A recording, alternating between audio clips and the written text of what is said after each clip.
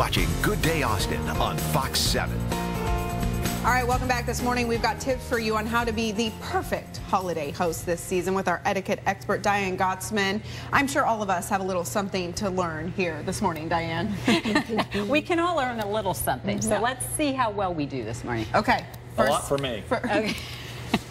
All well, right. Yeah. Put us to the test. Okay, What's this first you're tip? on one. a limited budget and you invite only the number of people you can comfortably entertain. Your friend calls and asks if she can bring along her weekend house guests. Oh. You say, Well, I guess it's up to the host, right? I, I- mean, if, if you really got it down to exactly how many people you are expecting to come Right. and that will stress you out to have more, can you politely say, I'm, I'm sorry, it's a very... you Here's the- win. here's the you win. That's the right answer. Oh. Oh, so which one is A, that one? no A? problem. B, gosh, you know, can we have a rain check on this holiday event? Or C, chalk up the request to being a close friend and welcome everyone to the party. You'd love for everyone to Yeah. come to the party, but the reality is B is the answer. Oh. You've carefully orchestrated the event. There's only a certain number of tables and chairs you've rented. There's only a certain amount of food. So just ask Yeah. them if they wouldn't mind kindly making it another time. Could you could you do that, Amanda? Could you be Well, I- comfortable I, saying? uh, yeah, I, I think so. I mean, I just, especially when you said that, if you're having a, a dinner party and you've only got so many, and, Yeah. you know, and if it's a really expensive dish like quail or, or And four buffalo. extra guests arrive to Right. your party, Zach. What are you going to do? I would say, yeah, they can come. They just can't drink and eat.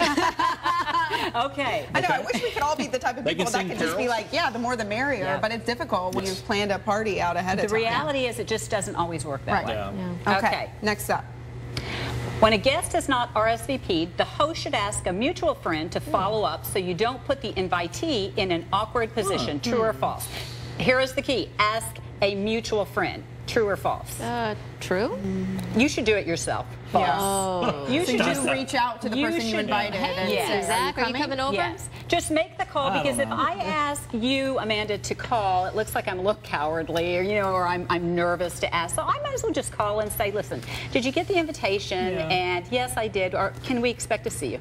Well, It's just and, a and in this day and age, you can probably if you're a text friend, someone if you, Yeah. don't, if you don't want to really call. Yeah. Well, Yeah. you should always RSVP, as Diane has Yes. told us. You should. So Right. it's Within a acceptable week, right? then for the host to check in and find out where And if have it. it's a huge party, if you have 500 people coming, you might need some help. What but kind if of it's holiday just, party is that? Wow. not my holiday I'm gonna go to that party. You're going to the Kardashians party? or Yeah, I didn't say it was our party. I said Oh, okay. sometimes big parties. But if it's just our party, Wow. which will probably have about six or seven people, we just need to call ourselves. There we go. Okay, next. A Okay. host should always greet each guest at the front door, true or false? False. I say true. I say true. True.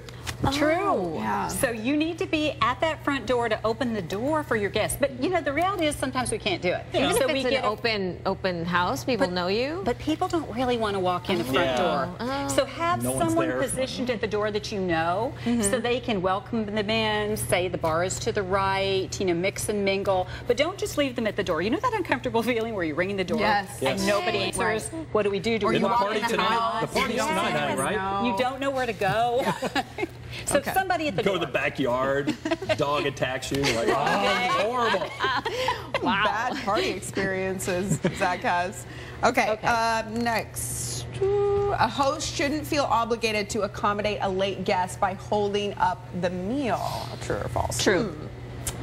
What do you think? I, I think I think you shouldn't feel obligated. Right. Yeah, you should Not should hold just up the meal. Yeah. Just go Just ahead. go. And when they arrive tardy, not nice. Here's dessert. Yeah, that's right. You you feed them wherever you, you two things. You can either feed them at wherever you are in the course. So if you're in the mm-hmm. entree and you've already had the the soup, mm-hmm. skip the soup, give them the entree. Mm-hmm. Or if you're a dessert, give them some food before their dessert. You know, Okay. yeah. Oh, okay. I But didn't You don't need to wait for them to Don't start make your meal. your 500 guests, Yes. or in our case seven, wait because one person is late. Yeah, it's not fair. Okay. Yeah. No. Uh, before guests depart, the host should offer to-go boxes Oh. for all the delicious leftovers. Can we just say this is should be true? It should be, but It it's should be right. I'm sure No, it's a false. host is not obligated to give anyone food. Yeah. They are not obligated. Now, No. sometimes, you know, they sell those cute to-go boxes Yeah. that you put all of Oh. your food, you know, the extra food in and send it along in the desserts. But that's just a perk. But that's you shouldn't not, force it on people, right? Like, Right. please take this. Yes, and you need to take not, this. And a guest should not ask. No, So but can I- we say that that it would be a great little Oh, uh, yeah, I'd take it. addition at a party? Oh, I would take it in a heartbeat. Oh, Yeah, that would be All great. four But just don't ask for it because then the host really didn't want to give it to you. Yeah. It's tomorrow's lunch. Yes. Sure. Just let it happen. Okay, A plus. You did well. Yeah. All right. Thanks, I did okay. Pass, fine. And we all learned a little something, I'm sure. Get ready for our 500 people party. I'm excited about that.